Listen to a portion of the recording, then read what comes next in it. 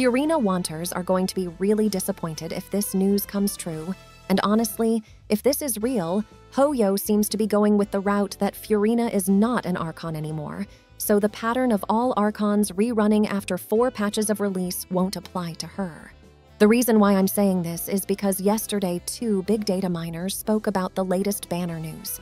According to Dimbreath and HXG Diluc, the banners are Arlecchino and Lyney in the first half, and Wanderer and Baizhu in the second half.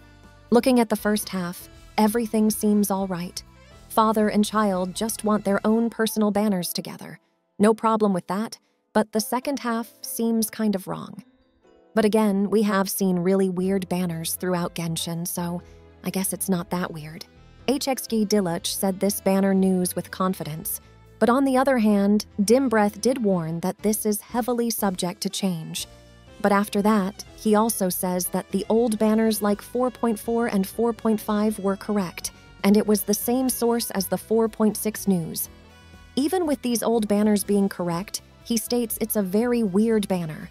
I agree with the statement that this banner is weird.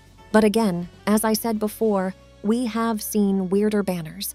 The reason why HXG Diluc might not have said the banners could change is probably due to the fact that they always do, and it's common knowledge by now.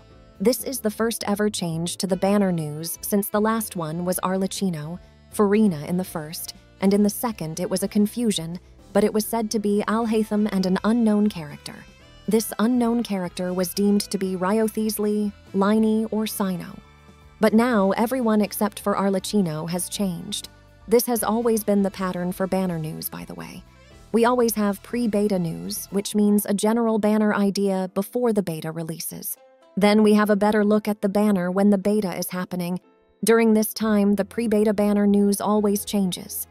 Then we have two more, let's say checks on the banner news. And usually this time, one or two characters might change from the initial banner news we got when the beta was released. Or some characters change from the first half to the second, and vice versa. 4.4 had Nahida swapping from the second half to the first.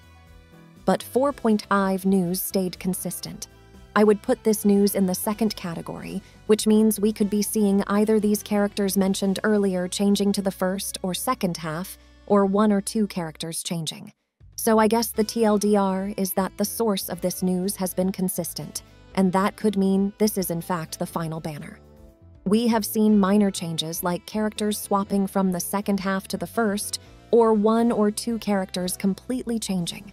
So the best thing is not to be fully excited about this, just wait for the second half of 4.5. And if the banners are consistent, then we can celebrate, I guess. So what do you think?